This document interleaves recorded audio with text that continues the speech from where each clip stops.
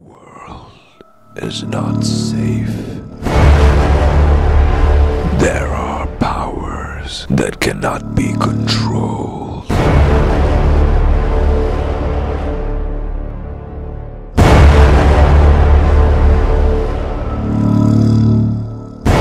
It is our mistakes that will doom us all.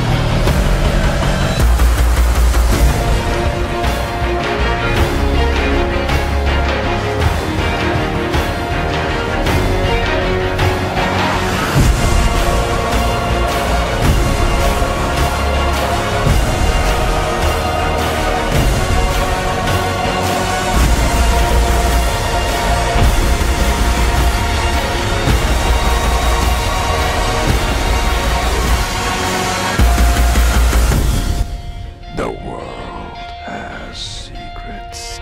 Secrets that we keep.